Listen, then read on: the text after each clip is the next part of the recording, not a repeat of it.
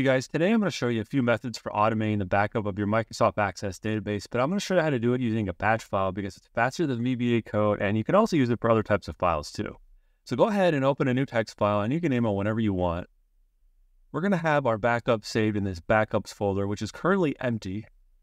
And now we can just go ahead and start our code. So right off the bat, this at echo off at the beginning of a batch file, this ensures that the script runs quietly and only displays the output from the commands, if any, and not the actual commands themselves. Aside from that, one of the first things we want to do is set the source file path and the file name. So you might have saw that my database was called UnionDB, but you just put your own right here. Okay, now let's set the backup folder path to the backups folder that you just saw a second ago. Basically what I'm doing is I'm telling it to use my current directory and to go to the backups folder. To be clear, this is the folder where I have my database and this batch file. Now this is optional, but here's a function that would create that backups folder if it doesn't already exist. Some of you might recognize the mkdir or make dir command from other scripting languages, so here it is. And here I'm going to copy this backup folder reference so I can paste it in other parts of my code later to save time. So we're going to put a timestamp in our file name so we know when the backup was made, just for cleanliness and organization. This might be one of the trickier parts of the script, but don't worry, I'll provide a copy of this code in the video description. Okay, now we're actually setting up the copying of the database to the backups folder. You don't have to use a timestamp in the file name, I just chose to, I like it. And that's pretty much it. So let's go ahead and save this as a batch file now. So I'm going to go to Save As Type, All Files, and then you want to make this a .bat or batch file, and go ahead and hit Save. And it's going to create a new file. So you can see right there, there it is. It even looks a little bit different. That's our batch file right there. So let's look in our backups folder here. Nothing there. Let's try to run this and see if it makes a backup. Okay, it looks like something's happening here. Aha, there we go. It works. Awesome. All right, so now I know it works. Let's implement it in our Microsoft Access database. Let's start simple. Let's just go ahead and make a button, implement our new batch file that we just made. So first, let's make a subroutine here. So let's go to view code and we're going to go to insert module. And we're going to just create this sub called run backup batch. And this is what's going to run our batch file. So we're going to dim batch file path as a string. Okay. And so we got to define the path to the batch file. So we want the current project or the current path, our local directory basically, and then we're referencing the backup database.bat file. Okay, so basically that right there. All right. Okay, back to our code window. So we actually have to run the batch file. So that's where the shell batch file path part comes in right there. We go on VB hide here, and this should prevent the batch file from interfering with the database. I just want to put a little message box that confirms that this ran. And then you can say whatever you want here. I'm just saying backup process started. Nothing fancy. You do whatever you want. All right, so let's go ahead and copy this. And then we're going to put this into a button. So let's go to form design here. Grab a button. You can use something else if you want. I'm just going to do a button though.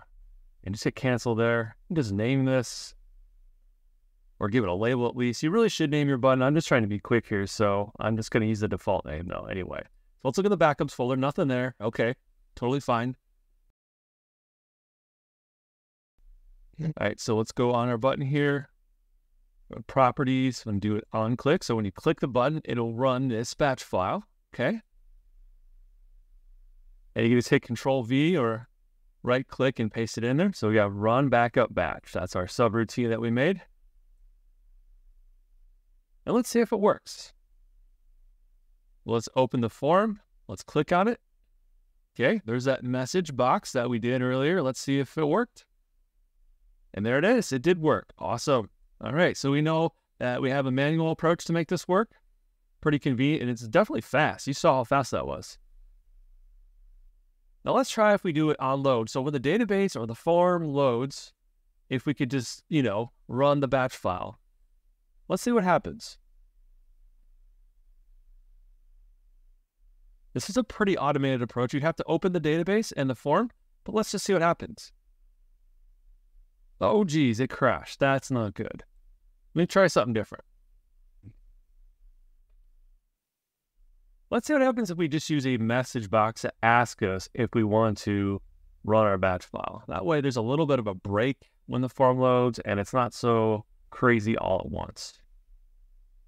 All right, so this time what we're gonna do is, you know me and my message boxes, I love them, but they really are handy. So we're gonna create this response. You can see it's a message box right here. Do you wanna make a backup? Really simple. Okay, we're going to use the VB yes no option so we get a message prompt with the yes and no options to determine if we want to make a backup or not. Oops. Yeah, that can happen if you hit enter too soon. All right, and can add that confirmation part there so you can see that, just a title. And we're going to say if the response is yes, we're going to make a backup. And if it's no, don't make a backup. And this is going to run every time your form loads. So there are things you can do. So maybe you want it to run just once a day. You can do that. You can just create an append query to a table, make a log. And if that date's already in there, it'll just skip it. You can do stuff like that. And if you need help with something like that, just let me know. Happy to help. But I just want to make this kind of quick. There's lots of ways you can, you know, do it once a day. That's just one way. So let's go ahead and see here. Nothing in the backups folder. Let's run it and see what happens. Okay, we got the message. We're going to hit yes. Okay, we got that other message box. That's a good sign. Awesome. Okay, that looked good. It's there. It's saved. That was successful. So that's a semi-automated way to do it. All right, let's make a fully automated mechanism for backing up our database, even if we don't open Microsoft Access. There's a way to do that. We're going to use a task scheduler in Windows. So you can see right there, you can just search for it like I did. And what we're going to do is we're going to create a new action and we're going to have it run daily. So we'll make daily backups. Okay, so go to create basic task. And you can just name it. You can give it a description so you know what this is. Just a little reminder. Doesn't have to be much here. I'm just going to say something like, I don't know, this backs up our database, whatever. Okay, hit next. And you can choose how often you want this to go. I'm going to say daily. Next. Okay, every day at 6:48:02. Actually, let's change that. Let's do uh, 6:50 a.m. every morning.